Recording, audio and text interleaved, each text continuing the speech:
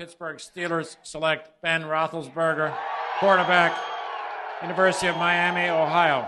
Oh, mama, I'm in fear for my life from the long arm of the law. Lawman is putting an end to my running, and I'm so far from my home.